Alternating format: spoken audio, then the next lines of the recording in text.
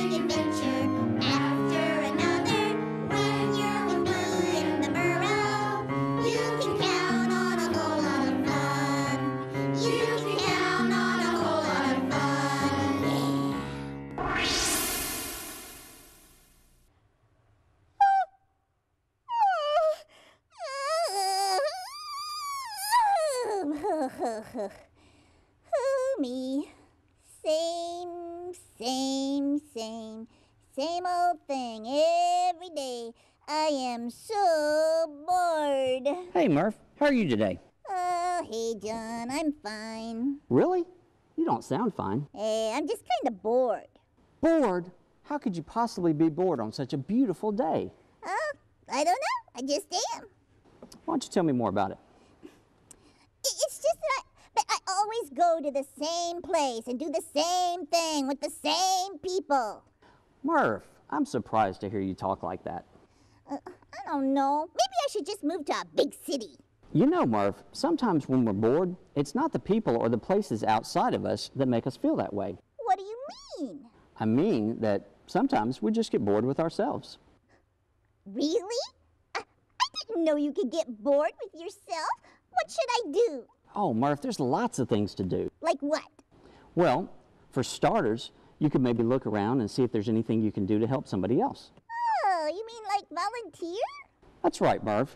Now, have you ever heard the saying, charity begins at home? Uh, I'm not sure. What's that mean? That means that it's great to help out in the community, but it's also important to help your friends and family at home. Sometimes that's even harder. Uh, do you mean like do the dishes and sweep the floor and mow the lawn, stuff like that? Sure.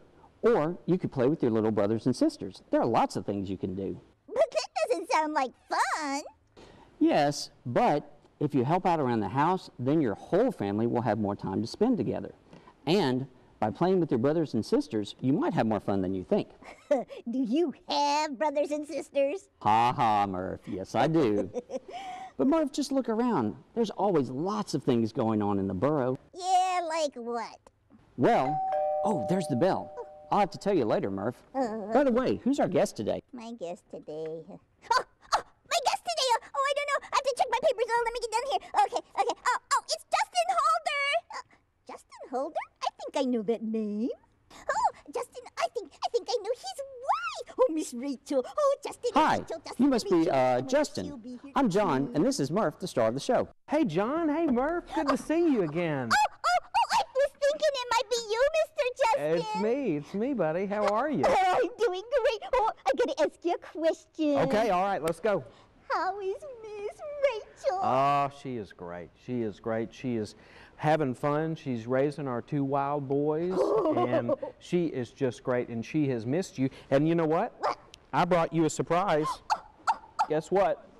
You know, Rachel is very healthy, yeah, yeah, just yeah. like you. And she also likes something that you like a lot. What is that? Guess what? It's, uh, it's orange, Okay. comes out of the ground. Oh, oh, oh, oh, oh, oh. I, I, but I know. Is it, is What? it, is it carrots? And you know what? The, these kind of carrots you don't even have to work to eat. You know why? Uh, why? She fresh juiced these just for you this morning. Did you hear that, Can you John? believe it? Carrot juice? Yeah. Oh, um, You, doesn't it smell good? oh Yeah. it smells so You're gonna have to use your straw. Oh, oh, oh, you know I love Miss Rachel. Yes, she's the best, isn't she? Yeah, she's. Yep. I tell you what, why don't you put that down here and I'll have Got- it for my snack. Okay, now you enjoy it. Now use your straw because you want to get that all over your pretty face. Yeah, yeah, I do. well, first I want to tell the kids what you do, but I thought we'd try something new. You want to try something new? Yeah, let's do it. Okay, do you like games? I love games. Good, good, because here we go. Now, why don't you give me three hints and I will try to guess what you do? Um, I get people where they need to go on time. Uh, get people where they need to go. Are you a bus driver? Nope. No. Okay. Okay, number two, I help people with big changes in their life. Big Changes. Okay. And then I help people that are upsizing or downsizing. Upsizing or downsizing? Oh, okay. What do you think all those things could mean? Uh, you're a politician? No, no, that's a good guess. That's not it. Let's see. Um, you're not a doctor. No, no, no. Um, um, um, um, um, um, I can't guess. You tell me. I am in real estate. Real estate. I help people buy houses and sell houses and move into Murfreesboro and out of Murfreesboro, help people move all over the country. Oh, I bet So- you've met a lot of people, haven't you? I meet all kinds of people, and that's the favorite part of my job. I get to meet people from all over the world. Oh, that is pretty awesome. Okay, Mr. Justin, next question. Okay. Uh, if you could go anywhere in the world and meet anyone in the world, who would it be? That probably would have been Ansel Adams. Oh, the great photographer. That's right. That's right. And the reason I think that he just had an, an interesting outlook on life, um, he was good about appreciating the natural things in life and having alone time and time with his family and just being very content. You know, Mr. Justin, you, you you like to meet a lot of people. Besides your work, what other ways do you meet people? Well, Murph, I have a a big project going on right now. Really? You want to hear about it? oh, yeah, yeah. Okay. Well, I wanted to do something for my boys because I love photography. Uh -huh. And I love taking my camera out and meeting people and just hearing their stories. Oh, so, so you like to take pictures like Mr. Ansel Adams? That's right. And this is one of the cameras that I carry with me. You like that? Oh, look Yeah, at yeah. that. See? Fancy and you can see, look through that hole there. Oh, you see? Oh, you see, John? I do, I do. Yeah. Hey, You see? Hi, Murph. So I take this camera with me every day, uh-huh. and I have to meet a stranger every single day. Now, what's this got to do with your boys? Well, I wanted them to understand that everybody has a story. A story. I don't know. Tell me more about it. Well, you know, we all go through different things in our lives, uh-huh. and that's kind of what makes us who we are. You understand that? Yeah. And so everybody, whether it's something that is great that's happened in your life, like uh-huh. like a lot of people would be interested to know that you've you've had this successful television show and you know and, and oh. how did you do that? And how did you oh. become to you know how did you get involved in that? A lot of people like to hear that story but you know what's interesting murph is a lot of people have things that happen in their life that they're they're not good stories. Aw, that's sad. yeah, it is sad, and but you know what? Even though it's sad, uh-huh. a lot of those stories are are so inspirational to other people that may be going through a tough time as well. You know, like I could ask you, Murph, have you ever had a, a really disappointing time in your life? Yes, I have. Yeah, what was Uh-huh. that? Well, I, I don't know if it was disappointing, but it was so sad. Tell me about that. Yeah, I have. Uh, I had a great grand bunny that I really, really loved. My great grand bunny, Bob. Yeah. And and I spent oh so much time. We used to go fishing and we used to garden and, and he would read me stories. But my great grandbunny, he passed on, and and that was really sad for me. Death is a hard thing, isn't it? Yes, it is. We don't even like to say that word. I know. I know. Yeah. And a lot of us don't like to talk about that. But you know what? Even though that's a tough time in our life, Uh-huh. that's also a time that, that we're able to reflect and, and think about the best times and, and our best times with those people. You know what I mean? Oh yeah, and and that helped me. You know what I did? What? I got out all of our pictures that he and I made together, that we had together, and I put them all around my burrow, and I looked at them, and then and then I went out and I planted carrot seeds, Yep. and I thought about him, and, and I told my mommy some special stories of things that we did, and we talked about that, and, and I felt better. Yeah, and he and he didn't feel like he had died, did he? He felt like he was right there with you. Right. You know, those those pictures take us back to that time. Oh, That's why I like having my camera is I can take that with me and I can take some photos. Uh-huh. And when I look back at those photos, I'm immediately back in that in that moment. You know what I It- mean? Yeah, it kind of preserves memories, Absolutely it? it does. Oh, yeah, Yeah. and it just freezes that moment. That's right. And Murph, it's interesting about strangers. A stranger could be that person in your class that you've just never really taken the time to talk to, you uh-huh. know? Or maybe that person that has just moved here from another school. You know, it's, sometimes it's easier not to talk to strangers, you know? Sometimes it's easier to just only talk to the people that we know because that's comfortable. Right? And it's a little scary sometimes to, to, you know, kind of put yourself out there and meet somebody that you've never talked to before. But it's good to talk to other kids and, and bunnies and get to know them. That's right. Because you know what? They all have a story. They and they all have have something that they can teach you and that you can help each other with. Oh, I like that. They all have something they can teach you, you know. But the, we do have to be very careful about grown-up strangers, right? That's right. Grown up strangers, that's a whole different thing. Yeah. That's something that you only want to do when you're with someone that's taking care of you or your parents. Right. What I'm talking about today is I would I would tell everybody that's watching today, maybe in the Murfreesboro City schools, Right? to, to try to meet one stranger, even if it's one stranger a day or one stranger a week. Right. You know, Mr. Justin, Mm-hmm. sometimes I am afraid to, to kind of talk to other kids at my school. Uh, what, what can I do to help myself not be so not be so worried? Do you know what self-talk is? Uh, Self-talk is the way we talk to ourselves. The way we talk to ourselves? Have you ever heard of an affirmation? No, sir. Affirmation is something that you say to yourself to kind of get your mind right, you know? Because sometimes we can tell ourselves that ah, we're no good at that, or you know what, I had a very, very hard time in school. And you know, sometimes I'd go to school and, and I'd take a test and I'd think, man, I've got, it, I did 100 on that Right, test. right, I, I knew it was going to be perfect. Right. And I'd get it back, I did not do well. I did not do well. And it's easy to say, you know, why did I mess up on that? I am no good at tests. I'm not good at learning. All these different things. You ever do that? Yeah, I have. And, and we just can't do that. You know, we have a choice to either be happy or we have a choice to be sad. Right. And so self talk is when we talk to ourselves and we say, I'm going to do great at this. Uh-huh. I'm going to have a great day. Uh-huh. People around me may be negative, but I am choosing to be positive. Yeah. Yeah, that's cool. And, and you mean even kids can talk to themselves? It's most important to talk to yourself when you're a child. You know why? Why? Because when you're a child, you are setting the roadmap for the rest of your life. And that's what I love about you. You are always so positive. And you know what? Every time you have somebody on their on your show, uh-huh. you make them feel like the most important person in the world. Oh, you know that? You know that? Oh, thank Yeah. you. You are a good person, Murph. Oh, thank you so much. But what if you're not good at something? Like you weren't good at math, you said.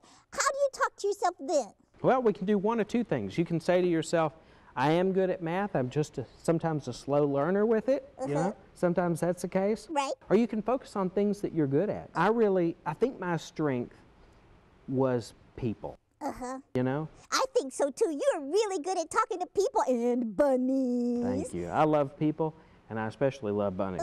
Oh, thank you. What was your favorite book when you were a kid? Favorite book when I was a kid was a was a book that uh, one of my best friend's mothers gave me, and it was Dr. Seuss. Oh, the places you'll go. Oh, I love that book. You know what? You have been an awesome guest. And you know what we say around here?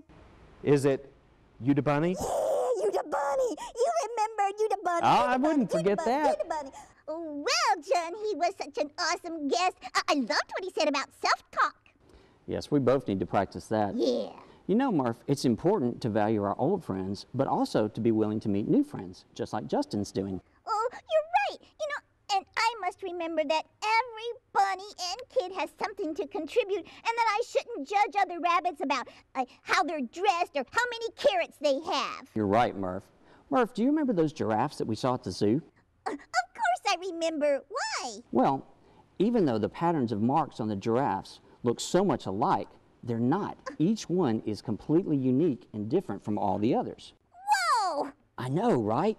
And it's also that way with people. Every person is unique and different. Our old friends and the new friends we meet, every one of them is unique. Hmm. I, I guess we have to take time to, to remember and appreciate people. I know, I know. Let's show the kids at home the giraffes. Let's go. Oh, hi everybody. I am so excited because I am at the Nashville Zoo at Grassmere with my friend Miss Kate. Hi, Miss Kate. Hi, Murph. You doing? I'm good. How are you? Oh, I'm really excited to be here with my friends. Tell us about these fabulous animals. So we have four giraffe here at the zoo, and the big one right behind you is named Congo. He is our male giraffe. He just turned nine years old, uh-huh. and we have Fourth three. grade. He's in fourth He's grade. in fourth grade. Yep. Hello. How are you today? Whoa, you're kind of big. Yeah. Yeah. I'm gonna make you famous. We have three females, um, if you're able to get a shot of them. So we have a one year old, a three year old, and a nine year old. And the other nine year old female is Congo's girlfriend. Oh. Yep. Wow, that's pretty cool.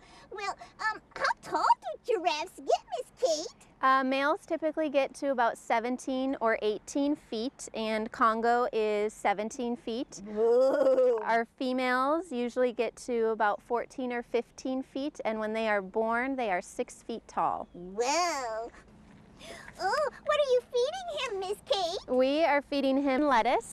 Miss Kate, are those carrots? These are carrots and lettuce. We feed our giraffe vegetables when we give them treats. Uh, you're not gonna give those those carrots away, are you? I, I assume that you maybe want one.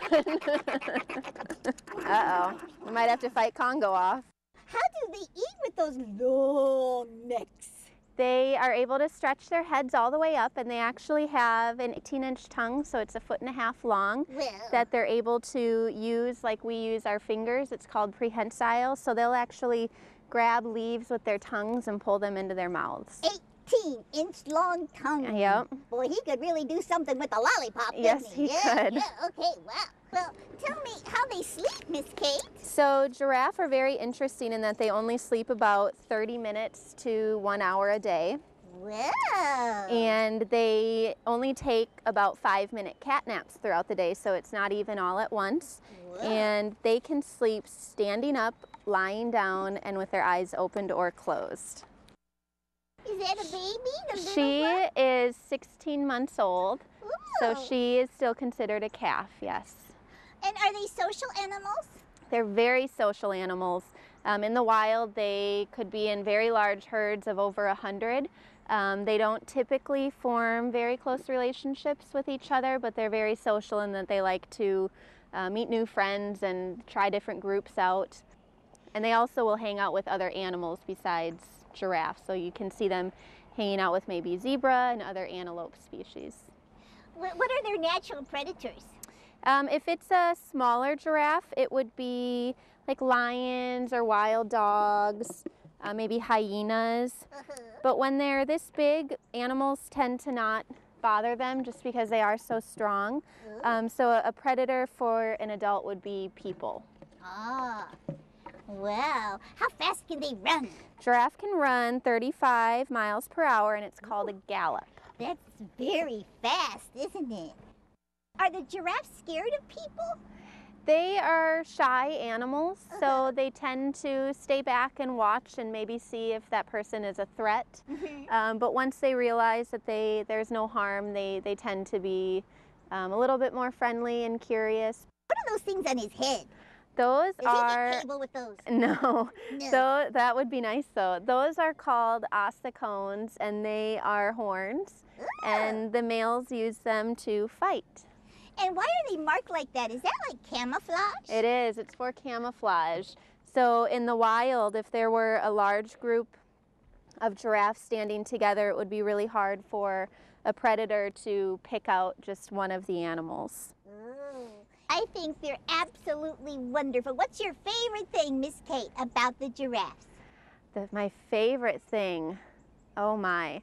I love their eyelashes and their sweet eyes. Oh, they have Um, beautiful long eyelids. Yes. And I do like how shy they are Oh, and it takes time to get to know them. Yeah. Miss Kate, do all the giraffes have their own personality? They do. They are all very different from one another, and that's probably one of my favorite things is getting to know each of them individually. We, we feel that way about our friends too, don't Yes, we? we do. So it's important to take the time to get to know them, just like we do our friends, right? It's very important. And and to recognize that we're each special and different. That's very true. Oh, thanks, Miss Kate. Come on out and visit the giraffes at the Nashville Zoo. okay, that was way cool, dude. Yeah. Now, how about we do something a little closer to home? Like what? Well, this is brand new. Oh, really? Oh, what is it? Why don't you come see? Okay, hey, hey, you guys come too. Oh, everybody. Oh, I'm so excited to be out here at Bloomfield Links with my friend Mr. Tracy. Hi, Mr. Tracy. Hey, Murph. Oh, oh, I'm excited. I've never been here before. Is this a new place? It's brand new. And what, what is this place? Why is there a flag here? Well, this is uh, this is going to be our version for uh, starting golf, beginning golf, uh, whether it be for kids or adults, but uh, mainly geared uh, towards our youth. So we, we use the smaller flags and the bigger holes so that they can uh, enjoy it and have a- have a lot of fun. Oh, okay. What, what do you do with the flag when you play golf? Well, the flag is the is the indicator. You put it in the hole. This is this is on the green, and uh, you start at a tee. You hit your ball, and you try to get it into the hole as few as shots as possible. And the flag just is an indicator to where the hole is, so you know where to aim. So you can see from far, far away, right? Very far away. Okay, Yes. cool, cool. And what is what does green mean when you talk about the green? the area that you do your putting. Normally, you're hitting shots that go in the air. Uh-huh. Putting is when you roll the ball on the ground. Uh-huh. And this area that you'll see right in here, it's not green right now because it's still cold and the grass hadn't come out yet. But uh-huh. this little area right here is called the putting green. The actually, the putting, green. Green, the Yeah. putting green. Oh, that's fun to say. putting green. Okay, okay, okay. Oh, oh, and, and how many putting greens are there out here? Well, we actually have six holes. So there's six putting greens on the golf course. Cool. And, and how does how do you get to this place? I came up a rabbit hole. but but how do real people get to this place? Right now, you park at Old Fort Golf Course, Old Fort Golf Club across, uh, and you get onto the greenway. There's signs there that lead you up a path to the greenway. You walk down the greenway, follow the signs, and then it takes about six or seven minutes to walk here, and then you're you're right here. Okay, can can I give this a shot, Mr. Tracy? Sure, you can. Let me get us a club and a ball. okay. The putter is a flat-faced golf club, and it's a little bit shorter. And all you're actually doing is using it to, like a pendulum on a clock, to roll a ball. Okay. I see We're like gonna- a like a pendulum on a clock, back, back and, and forth, forth, back and forth. That's why it's called a putting stroke, not Okay. actually a hit. Okay. So you're just kind of rolling the ball. Not like baseball. Not like baseball. No. Golf is a lot different than baseball in the fact that we have to play our balls. okay. So when your ball gets onto the putting green, you, you get your putter, and we're going to roll the ball, and we're going to try to get it into the hole as soon as possible. Okie dokie. Now will you help me get it right? Well, sure. Put your left hand at top. Left hand at then, top. Yep, left hand at the top of the grip. Remember, this area is called the grip. Okay, Thumb right down the middle. right down.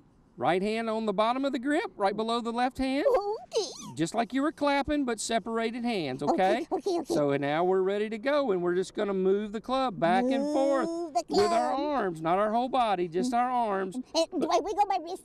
No wiggle wrist. Okay, okay. All the arms and club, just like they were one piece. Just like they were one piece. Ooh, uh, ooh. Can I hit the ball? You can. We're actually, remember, we're not hitting the ball, we're rolling the ball. Rolling the ball because Yeah. we're on the green. You're on the green, and the way you think about things, what you say, the words you use are what you're kind of telling your brain to do. So if you say hit, you might just hit it and it'll go anywhere. But if Oh. you think about stroke and roll, it's more like petting an animal. You just Oh. stroke and roll. So we'll, you can roll it down there nice and soft. Okay, okay.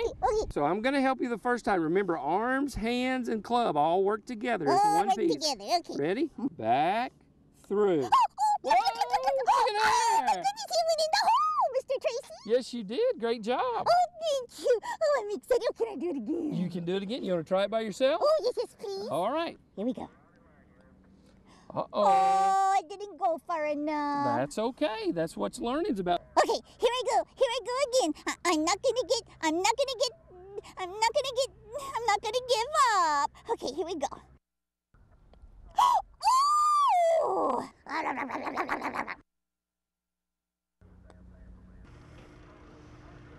Yay! Oh, oh, oh, oh, look at that, look at that, look at that. Did you see that, Mr. Tracy? I did see that. You See? Oh, yeah, You that's so- stayed with it the first couple times. You missed, then you didn't hit it quite far enough, then a little too far, then you adjusted it, and it was perfect. Oh, Great job. Thank you, thank you, Mr. Tracy. Isn't that fun? Yeah, yeah. Oh, all the kids in Murfreesboro need to come out and check out Bloomfield Links. Thank you, Mr. Tracy. Thank you. That was pretty awesome, Murph.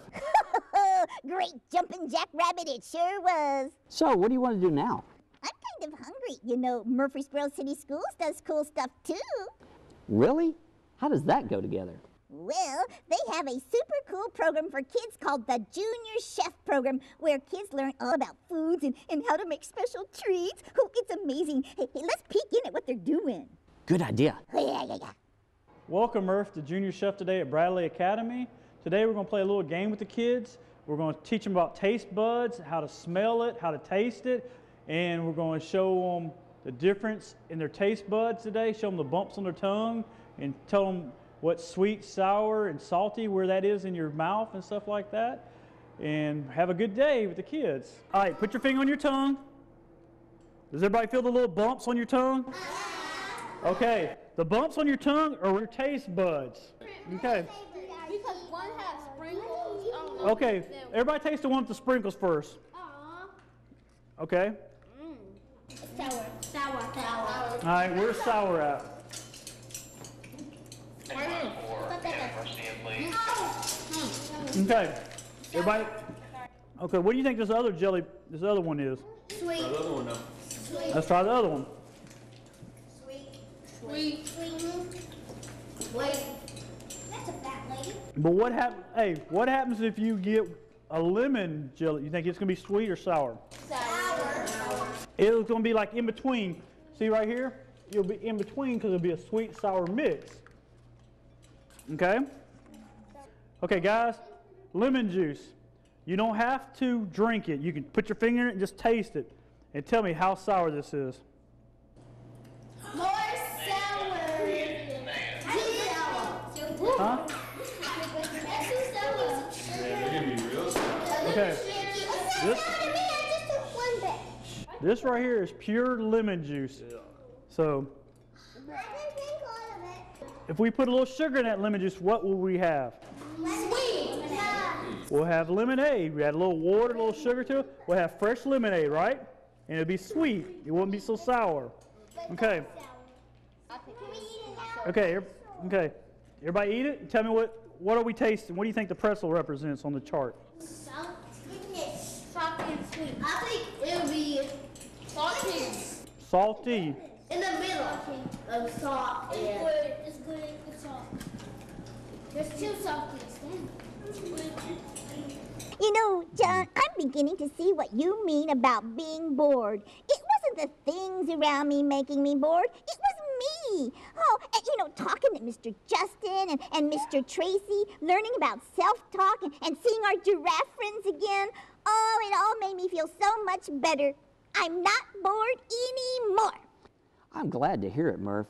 You know, we found all sorts of fun things to do today in Murfreesboro. Oh, yeah, and you know, we need to thank our special guest, too. We sure do. Special thanks to Jim Bartu and all of his friends at the zoo. Yeah, and our very, very special guest, the one, the only, Justin Holder! Yeah! That's right, and Chef Jack Sawyers and all the kids that were in the special chef camp.